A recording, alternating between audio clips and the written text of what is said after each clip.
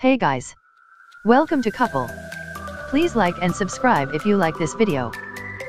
Maria Bamford has been one of the funniest working stand-up comedians for close to two decades.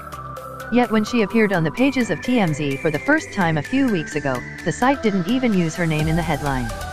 Comic files for restraining order over nuclear war fears, the headline screamed of Bamford's intentionally provocative attempt to get a judge to say President Donald Trump had to stay 1,000 yards away from her at all times.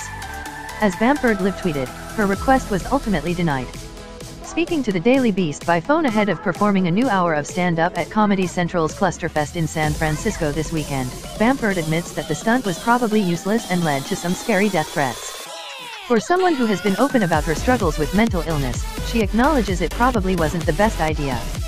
That experience of being diagnosed as bipolar and spending time in a psych ward provided the backdrop for Bamford's surreal and hilarious Netflix series Lady Dynamite, which ran for two seasons before the platform decided to pull the plug in January.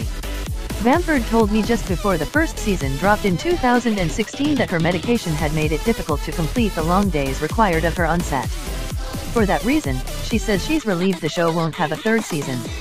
I got to say everything I've ever wanted to say, basically, on TV, she says now.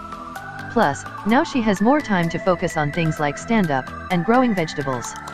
You're going to be performing stand-up at Clusterfest in San Francisco this weekend. Do you enjoy playing festivals? Yes. Very much so. It's a great thing, because you get to see everybody else. I'm going to see Kate Berlant and John Early and hopefully a few other people.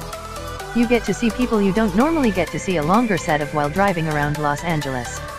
Do you think you will be trying out much new material there? Yes, it's an all-new hour so let's hope it's good. If it's not, let that disappointment trample you into working on your own stuff. Laughs I think I've got an hour that's all new. If I get frightened I might back into an old trope, but I'm trying to do a full hour. And are there any themes that you feel are more dominant in this hour that you're working on? How would you characterize it? I mean, I think everybody talks about the political stuff, just because it's so miserable. And the embarrassment of being ineffectual as a human being despite horrors being committed around you. Why can't I create a list like Schindler's List? Bamford's List.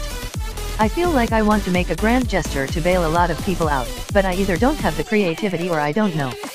But I'd like to help. I'm doing everything that I can, so far. My husband and I are starting to take in roomers, because the LA housing crisis is so bad and it's really affecting a lot of our friends. So we have one person moved in and may get up to two more people, so we'll see. It's all for us, too, because it'll be more fun to have more people around the house. So did you really file a restraining order against Donald Trump? Yes, yes, which was useless and only meaningful to me. And I feel bad, because I did get some feedback of, oh, you wasted the court's time.